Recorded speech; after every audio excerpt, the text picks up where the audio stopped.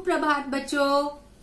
बच्चों, आज मैं आपको एक कविता सुनाऊँगी जिसका नाम है बंदर मामा। बंदर मामा पहन पजामा दावत खाने आए।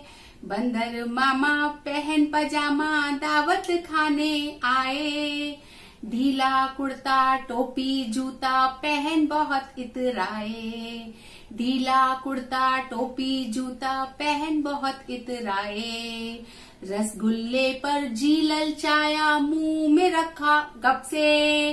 रसगुल्ले पर जी ललचाया मुँह में रखा गप से। नरम नरम था गरम गरम था, जीभ जल गई लब से नरम नरम था, गरम गरम था, जीभ जल गई लब से बंदर मामा रोते रोते घर को वापस आए।